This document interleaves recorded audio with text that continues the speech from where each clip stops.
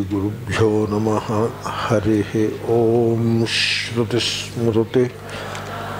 आलयं करुणालयं Namami भगवत्पादशङ्करं लोकशङ्करम् शरीराण्यागच्छन्ति।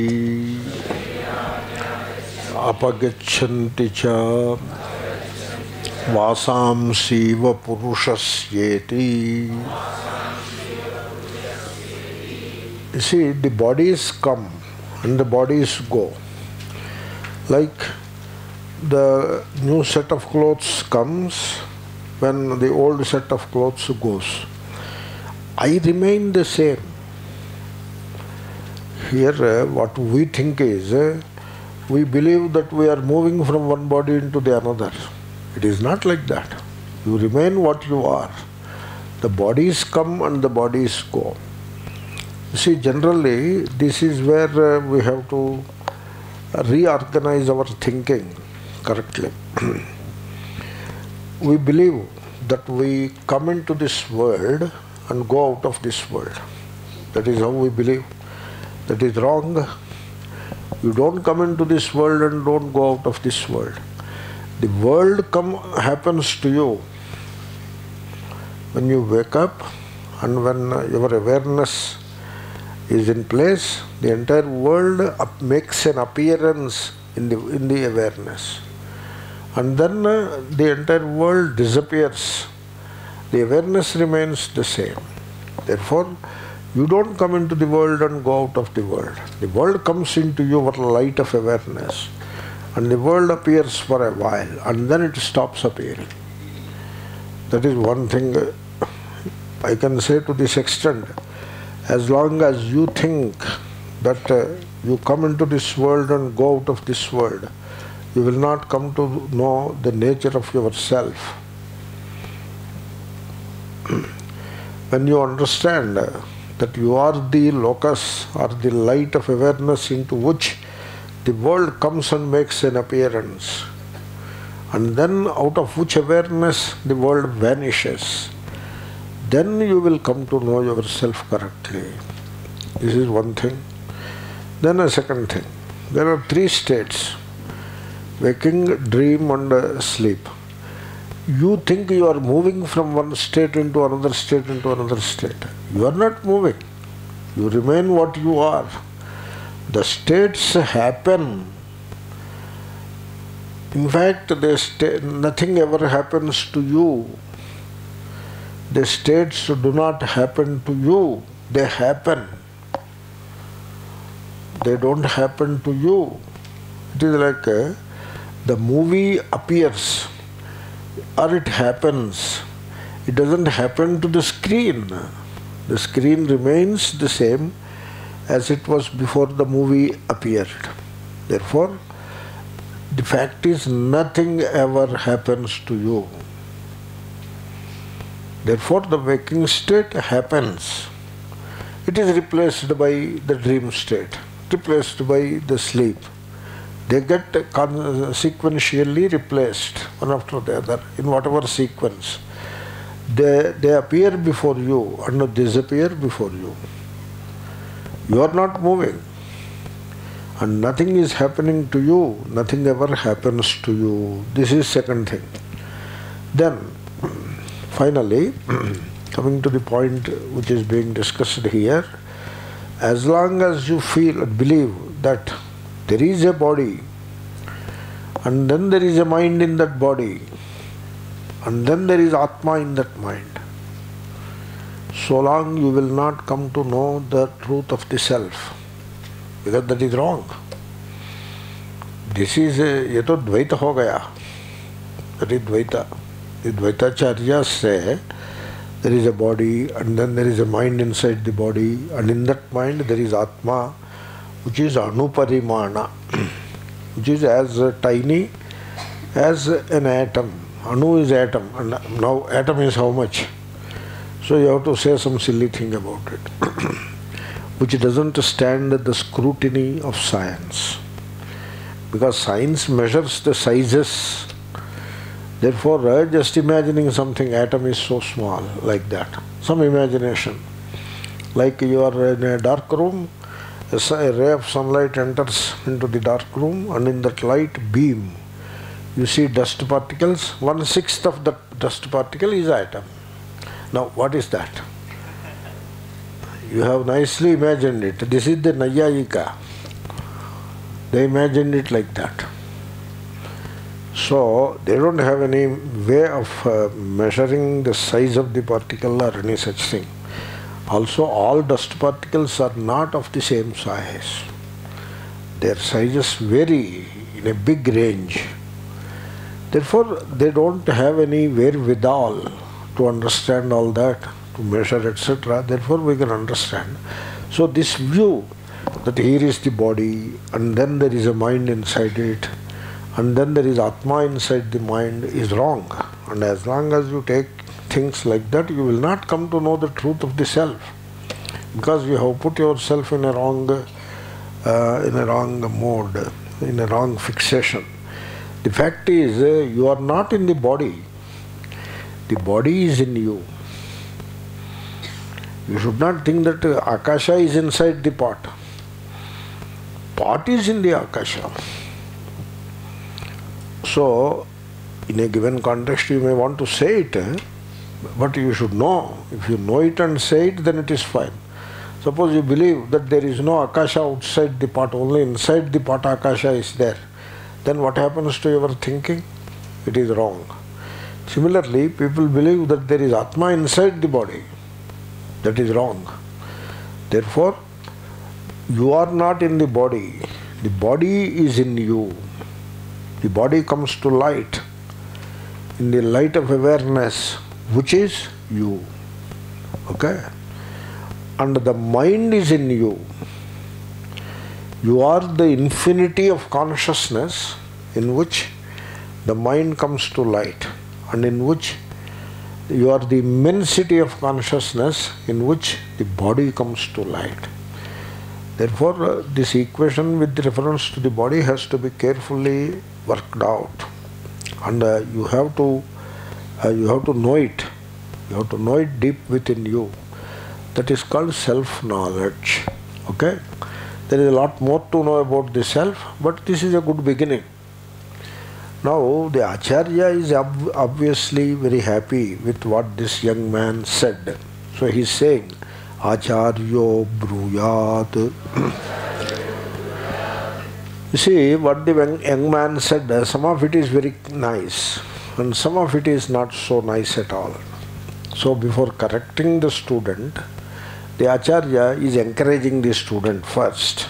Sadvavadi. You have said very well. This avadi is a very beautiful usage. Lung it is. Vadati. Okay? Avadat lung. Avadit लूँगा okay so अवादी मध्यम पुरुष एक वचनम साधु अवादी dear son you have said very correctly सम्यक पश्यसी। Yes you you see correctly you see you see use the word पश्यसी. You see correctly that you are not the body body is like a dress which we give up and which we put on again Therefore, I am not the body. That part of it is very nice. But then, how come you have talked some nonsense also? That is what the Acharya is saying. Katham Rushavadi. Mrusha Katham Avadihi. So, how come you have spoken uh, some unreal, uh, uh, wrong things? Mrusha is uh, asatyam, which is not the truth, untruth. You have said, what is that untruth? Brahmana putraha adonvayaha brahmacharyasam grahastho va idanimasmi paramahamsa iti this this description that you gave about yourself there cannot be anything further from truth than this So, I am the son of a Brahmana. That is how he started. Adonvayaha. Adonvayaha is, uh, I said already, Asau Anvayaha Yasya Saha Adonvayaha. Bahuvrihi Samasa. Adas is the Shabdam Pratipadika. Therefore, Adas remains. In the Samasa, the sup disappears. Only Adas remains, right? You know that, right? So Adas plus Anvaya, that is what it remains in Samasa. After the di- disappearance of the sup. Then Adas Anvaya, Sasajushoruhu, Adar Anvaya, Atoro Raplutada Plute, Ada U Anvaya, Adon Adgunaha, Adonvaya, then Sup Adonvayaha. Okay, interesting uh, usage, you know. You must be knowing it already, but I just gave a, gave expression to what I knew. Okay, Adonvayaha. So I belong to this and this such and such um, family or gotra. You see, he is a sannyasi, let us say, because that is what he is saying, you know. He is a sannyasi. He says, Sir, I am a sannyasi and uh, I was born in a Brahmin family, a son of so and so, and then uh, this is my gotra. And um, uh, uh, so I lived as a brahmachari for quite some time, and now I became sannyasi, Paramahamsa Parivrat ho gaya. So now that is what I am. If this is the way you introduce yourself, now that introduction is farther from truth. It doesn't gel with the truth at all. Or you may say, sir, uh, I was brahmachari, of course, to begin with. Then I got married and had two children also, and then worked in uh, such and such place. And then, uh, then I decided to become sannyasi, and so I have taken sannyasa. Only recently, the 11th sannyasa Jayanti we have celebrated. Every year, one day, full celebration in memory of his giving up wife and children. The wife and children should celebrate. Why should you celebrate? they should celebrate if any. Why this guy should celebrate? So this introduction about oneself, it uh, it betrays a lot of fixation in his mind that he was born uh, into a caste, a particular varna, and then a particular gotra and all that. Then these ashramas also he takes upon himself, and only presently he is Paramahamsa Parivrat. That is what he said. Acharya saying all of it is Murusha. That is what he is saying. All of it is wrong. So, Sayadi Bruyat. Uh, suppose then the student says, you put a suppose, yadi, suppose. Means uh, you are just uh, imagining a conversation and through the medium of a conversation trying to make a good point. That is how it is. So suppose he says, Bhagavan kathamaham mrushavadisham iti. Dear sir, how do you say I said something wrong? Mrusha, something absolutely false. That is the meaning of Mrusha. Not asatyam. Asatyam is uh, uh, you, you purposefully said something which is not true. It is not like that, you know. He is not telling an untruth in that sense. He, he suppose he, he was not born in a Brahmin family, but he is bluffing that I was born in a Brahmin family. Is that what he is going on? No, that is not what is going on. Therefore, uh, it is not asatyam, it is murusha. Means what he said is, is factually correct, but it is far from truth. That is how it is. Okay? Uh, so, how come I have spoken untruth? You see, I tell you, before uh, uh, we look at the what Acharya says, I would like to make a comment. People take the most absurd statements about themselves for holy truth. That is what people do. Like, we are told, you are told that you are a body and you take it as the truth. You are, it is the most absurd statement. You are told that you are born and you, are, you take that as truth. You are told that you will die and therefore you take that also as the truth. Otherwise, how do you know that you are going to die? So, and then you are told that a set of parents you have, you are born to a set of parents.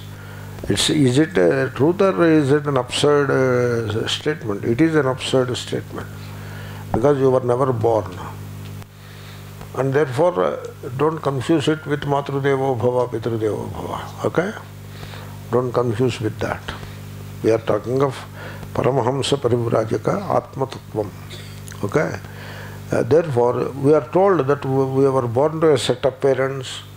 That is absurd statement, but you take that as gospel truth. And then uh, people learn, uh, learn uh, to like what others like.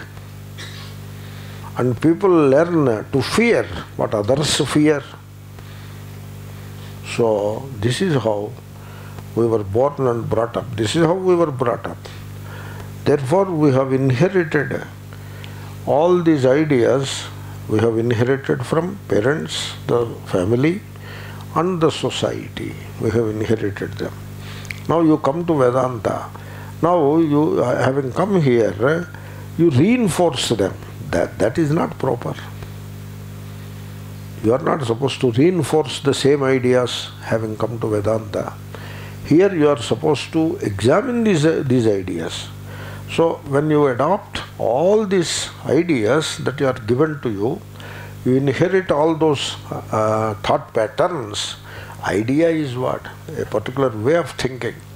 So inherit all those thought patterns, then, uh, then uh, you make them your own by inheriting. You have now become a creature of heredity and society. That is what you are. Very far from the reality of the self. No surprise, we live by memory. That is how we live. You see, I was uh, standing under the tree and suddenly I have seen uh, this creature. What is it? It will be running here and there. Uh, uh, squirrel. I have seen it. And uh, uh, I felt there is uh, an intense activity in it. If you want to see life in all its glory, just watch the squirrel. It just looked at me, and whatever it thought about me, whatever it is, then it uh, gave a serious look at me, and then turned the head and looked up and down and uh, jumped to the tree. And then suddenly it found a, a small nut, and then it picked it up, and it was uh, munching it with all its alacrity. And then uh, it went up in a jiffy. There was so much life in it. Whereas uh, we lost the quality of life. So even before uh, death, we have become dead people, living by memory. That is how we live. Because you don't know life, because you look at life through the prism of the memory. We live by memory and we act by habits. You think about it. So you wake up and then aham brahmana putraha. That is how you wake up. You are not a brahmana putraha in the sleep, but you wake up brahmana putraha. So I am sudraha. Therefore he is uh, inferior, I am superior, whatever. So, and then live by habits. Live by habits means you worship the gods that you worship by habit. And uh, you can say you look at a woman as a wife by habit. So, there is no uh, freshness in it, there is no life in it. We live like a dead people because we live by memory. Memory is past, memory is dead only. What else it is? And when you live by memory, that is what the life is. You should not be like that. You should meet the life on its terms and take it as a challenge from day to day, moment to moment, and you should not allow the, the, the memory to intervene. Then comes some freshness into life, and then uh, the world looks different to you. It will not look the same world because you are looking at the world through the prism of your memory and habits. When you look at, you keep the memory aside and look at the world. You look at you, you look at the glory of life. You look at the marvel of the presence, and then you can declare Sarvam Khalvidam Brahma. That becomes Vedanta. Therefore, uh, the, we have to examine the way we conduct ourselves and the way we live. So, you just can't say this is the this is the mold given to me by my parents or by my guru, and I have to fix myself in this mold and live like that. Then uh, you don't know what is life. That is not life. That is death. Therefore, we should not remain ignorant of ourselves. See, people ignorant of themselves and uh, also ignorant of the true interest. What is the true interest in life? The true interest, making money, is, the, is it the true interest? No. Money enslaves us. Rich people, they do not own the money, they are owned by the money. They are slaves to the money. They cannot step out of the trap that the money, the riches have prepared for them. They cannot step out. So, therefore, pursuit of money is not your true interest. Suppose you are pursuing a sense of pleasure like overeating, etc. That is not in your true interest. Suppose you are performing a rituals with a desire to fulfill a desire. That is not your true interest. You should know that. It is a pity that you have not known yourself. You are blessed that somebody comes and tells it to you. Really? People do not know what is their true interest. So they pursue false aims. You pursue when you pursue a heaven above, you are pursuing a false aim. Don't, do don't you know? It's Jagat Mithya. When Jagat is Mithya, heaven is included in the Jagat. So Ramana Maharshi was asked, Sir, is heaven real? This is a very interesting conversation. How the Maharshi sees things with a clarity that is very unique to him. So, uh, the Puranas talk of heaven and the rituals talk of heaven. So, you perform a heaven, a ritual, you go to heaven. Darsha Purnamasaabhyam Swarga Kamo Yajeta. So, if you have a desire for heaven, uh, so you should perform this Ishti, one day ritual. Now, why should you desire heaven? Why not? Uh, Is the, is, is the life not heaven now? No. So now the life that we live is opposite of heaven. Therefore we want to so badly the heaven.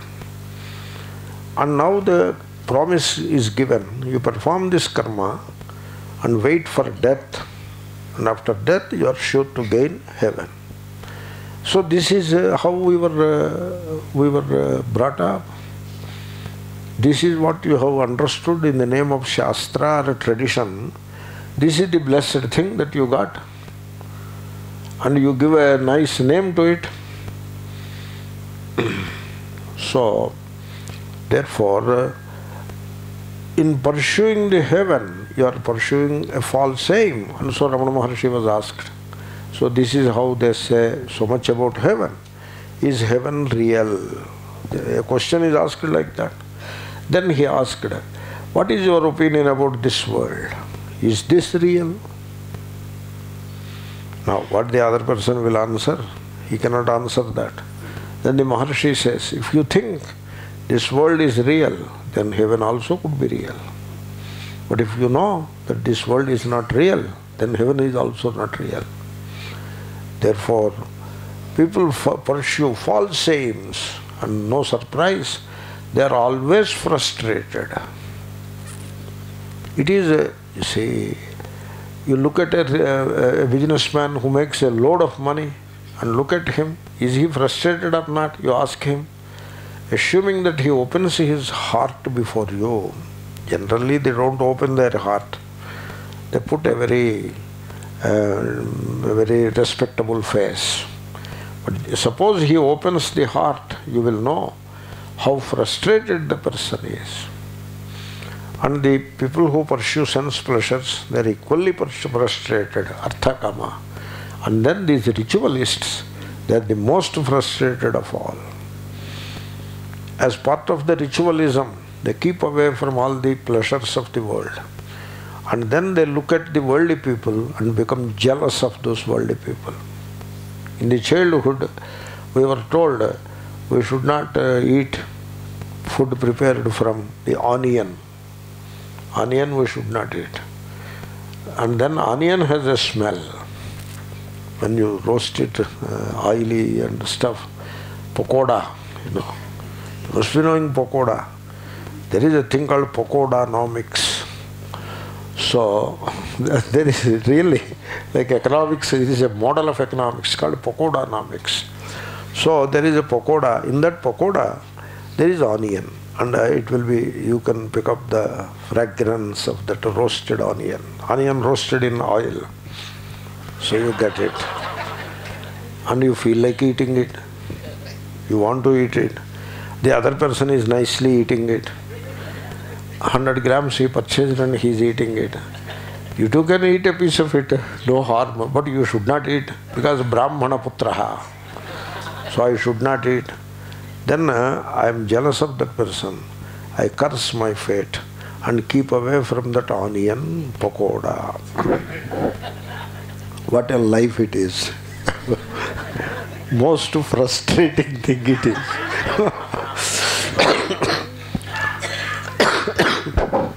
and then these upasakas. The, an upasaka is like a person who has taken a bath in castor oil. That is what a upasaka is, all castor oil on his body.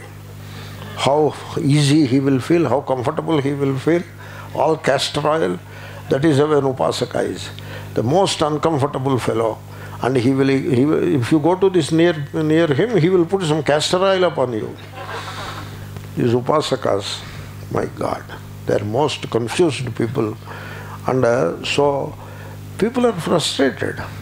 And then there is no way out. There is no way out. From this human predicament, there is no way out. So that is how the samsara is. But fortunately, there is a way out. Within easy reach, there is a way out. So, what is the way out? Not a conversion to another set of ideas. That is not a way out. You see, till yesterday I worshipped Venkateswara Swami. From today onwards I will worship uh, Shirdi Baba. So is that a way out? No. A new set of ideas, another set of ideas. You convert it to another set of ideas. The ideas you inherited from ignorant parents you give up and inherit some other silly ideas from another group. And then you convert it to new set of ideas. Is it a way out? No then what is the way out? The way out, that is how it, the whole thing is progressing. I am anticipating and telling you, if you are prepared to listen and think, the way out is a liberation from all ideas. That is the way out. All ideas of yourself and all patterns of living all habits of living. A liberation from all that is the way out. But then people may not have the courage to go for such a way out which is within easy reach. So just I have examined the human predicament. Now let us see what the young man says. So he says, What is wrong with it, sir? I seems to have told the truth. How come I have told अनंत्रोत मृषा अवादिशम कथम। तम प्रतिब्रूयादाचार्य। So then acharya may have to say may have to address the student and say like this यतस्त्वम भिन्न जात्यन्वय संस्कारम शरीरम जात्यन्वय संस्कार वर्जित आत्मन प्रत्यभ्यासी इसी that prayoga it is again lung all lung prayoga are difficult so प्रति अभि उपसर्गास अज्ञासी so that is the prayoga okay? So जानाति लट अजानात लंग अज्ञासीत दिल लुंग I would prefer to check I have said whatever I feel like saying so ज्ञा अवबोधने दैट मस्ट बी धातु सो प्रति अभि आत्मन प्रति अभ्यज्ञासी okay that is what he saying so हौ ब्राह्मणपुत्र। अदोन्वय इत्यादिना वाक्यन। So dear sir what you told is patently wrong यतः you versus the body you versus the body so you is atma. Atma is you Versus the body. Now, body is what? Bhinna. It is anatma. Bhinna. It is not Atma. It is anatma. And then jati. It has a birth, body, and anvaya. It has a family history. It was born into a particular family. Therefore, it has got anvaya. And it has a samskara. The samskara is brahmana. Means he has undergone, has undergone that upanayanam. That is the samskara. Or at the time of birth, he was given jata karma samskara. And then all these samskaras are there. Namakaranam, chaulam, and upanayana. That is how he becomes Brahmana, you know. Uh, therefore, all these samskaras are there. Now, these samskaras, uh, do they apply to Atma or do they apply to body? They apply to body. So, you don't do samskara to Atma. Samskara is a purificatory ritual. So, it purifies and it embellishes something. It is like a diamond which is brought from the mine. It is very dirty and shapeless and therefore not shining. That is the diamond. But it happens to be diamond. Then you give a, a, a kind of treatment to the diamond. First you wash it and maybe in some acid also so that all the impurities sticking to it will melt away. Diamond doesn't melt in acid. And then uh, put it on a lathe and cut whatever they do. Then the diamond shines brilliantly. This is called samskara. So samskara means you purify it, you embellish it. The Vedic samskara will be like that. But the effect of the samskara, in the case of a ritual, you don't see it. In the case of a diamond, we say it is samskara and you can see its effect. In the case of a Vedic ritual, how will you see samskara? Samskara you do, but the effect you don't see. Like laghunyasa. So laghunyasa, nyasa it is. Nyasa means to superimpose divinity upon yourself. That is nyasa. Nyasyate. Anena. Iti nyasaha. So you superimpose the divinity upon you. Why do you need to superimpose the divinity upon you? Because you don't know that you are the divinity and you believe that you are a sinner, papi, this and that. Therefore, the, you are obliged to superimpose the divinity upon you. Unless you do that, you cannot worship the divine. That is the karma kanda. So, how do you superimpose the divinity upon you? So, you do so angushtabhyan namaha, tarjanibhyan namaha, like that you do. And so, with the hands you worship, therefore you superimpose in the hands first, then kara tala kara prushtabhyan namaha. Then hridayaya namaha, sharase swaha, shikhaye vashat, bahu, etc. Kavachaya hum, astraya phat. So like that, you superimpose. So all this you do. Then that is the nyasa. Therefore, you you do not. This is called samskara. Now you have finished the samskara. Laghunyasa samskara is over. It is laghu means easily done, short, and hence in ten minutes it is over. We used to do mahanyasa. Two and a half hours it takes for the samskara itself. Two and a half hours. All, all the mantras of the world are recited as part of it. And therefore, so you do the samskara. And by the time you have done samskara, now you are ready to worship the Lord.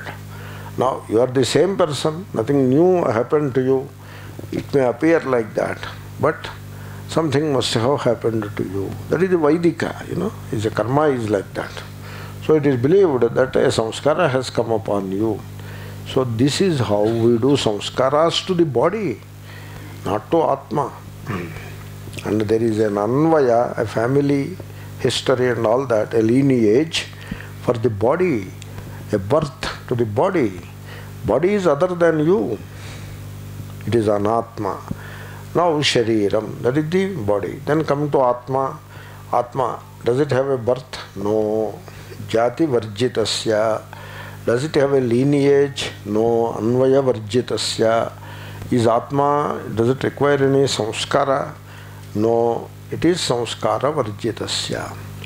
You see, if the wall is impure, it, does, it looks very dirty, then uh, you take a sandpaper and give a uh, give a give a fr- fresh um, rub it, and all the impurities fall off, and then give a fresh coat of paint, Asian paints. So you put it.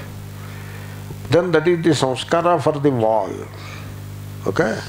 Now, to the wall you can do samskara. To the water you can do samskara. Like a Kent, put in the water into the Kent, reverse osmosis, RO and then water, pure, sparkling water come out of it.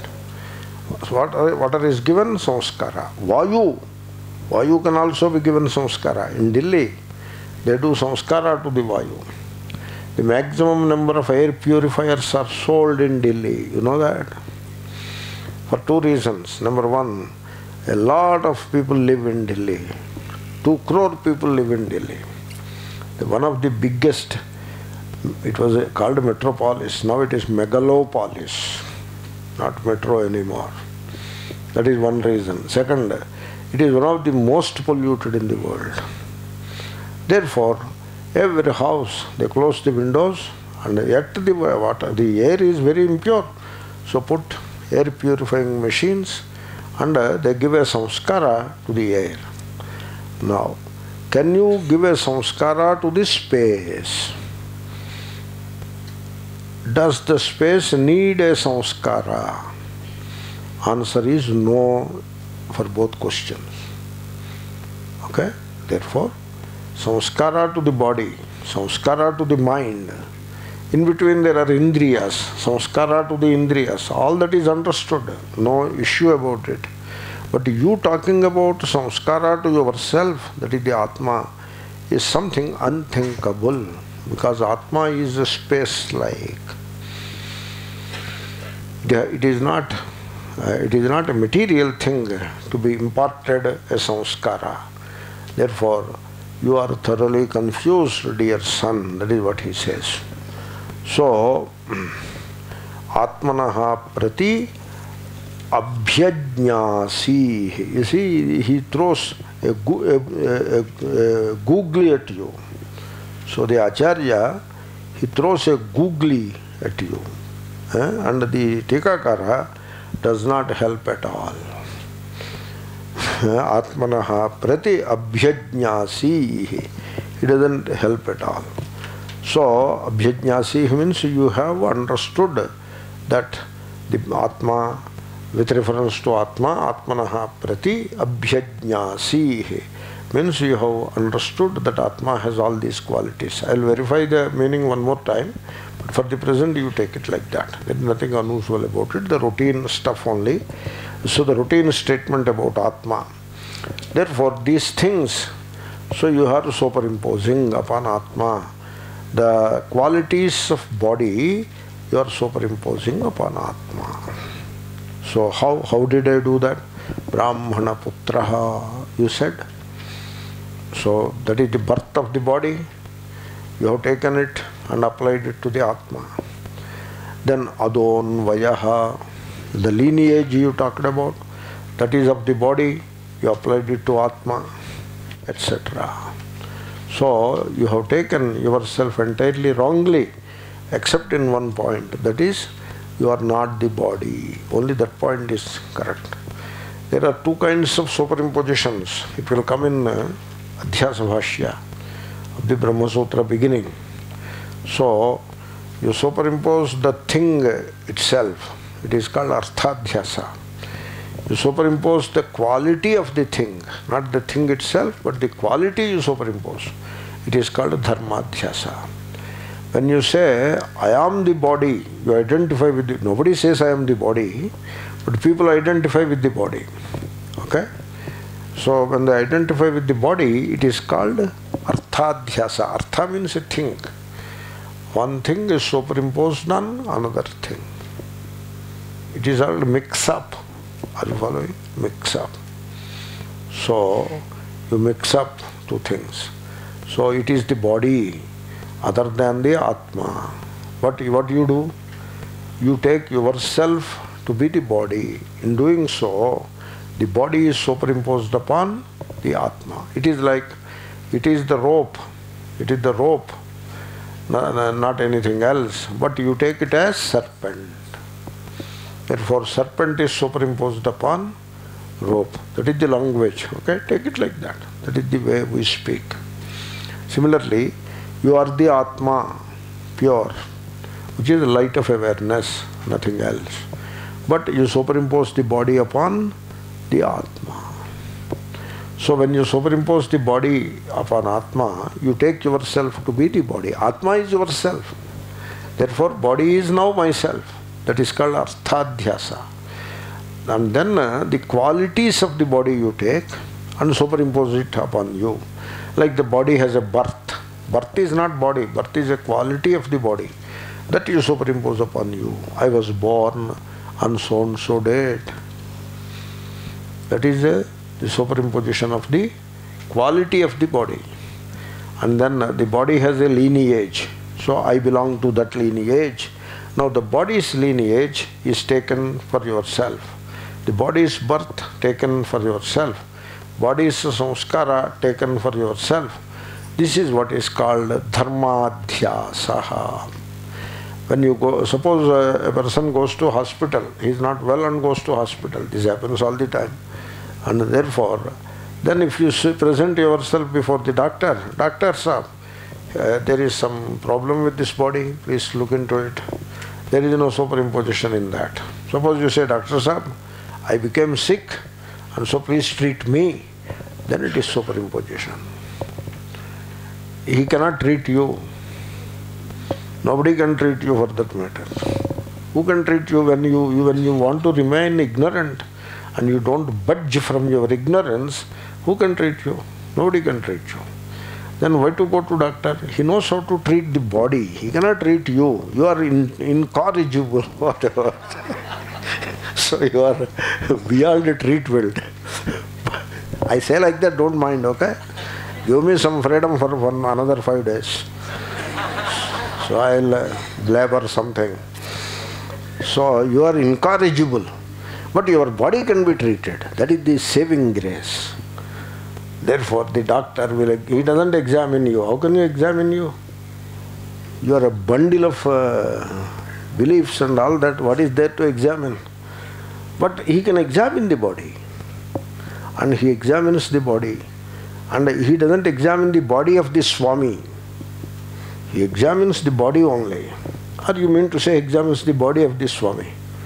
Suppose he examines the body of the Swami, it is called VIP syndrome. And he will not be able to treat properly.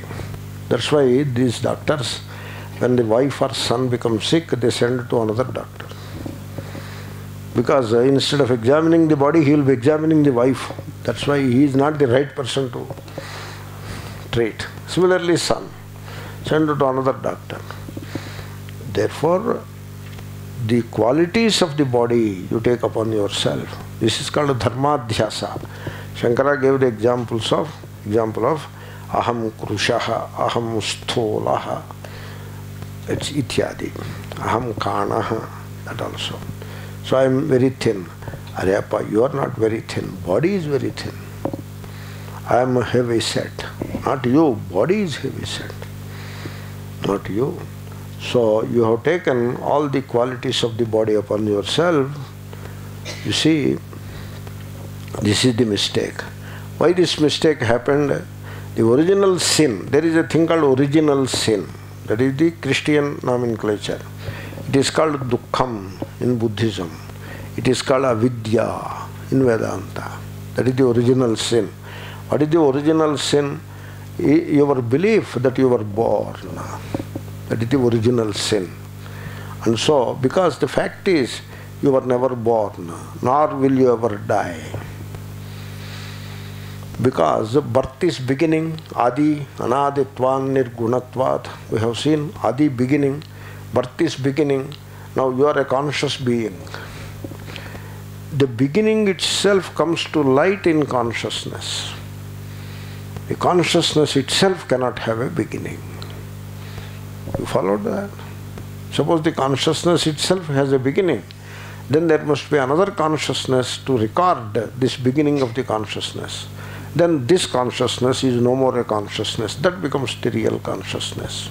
And therefore, you cannot speak of a beginning of consciousness. If it is consciousness, you cannot speak of a beginning of consciousness.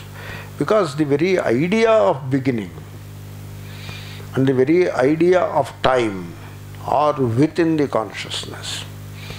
Therefore, you cannot speak of a beginning of consciousness. Therefore, uh, you are assuming that your born is the original sin. And uh, so, because of which you say, Aham Brahmana Putra. See, suppose in modern, in these days, suppose you go to a, a big acharya, big guru, who heads a matham or petham or whatever, big ashram or whatever, and tell him, Mahatma ji I am born as a Brahmana such and such family I do namaskar to you he will be very happy right do you agree with me why he he should not be happy you should correct you why he become so happy because the only reason is he never bother to look at Shankara's Upadesha Sahasri not only उपदेश Sahasri not only Upadesha Sahasri. They have a, in their head, they have a few books and uh, all these books are attributed to Shankara. Not the Upadesha Sahasri Shankara. There are so many other Shankaras. Every generation has half a dozen minimum uh, very well known Shankaras.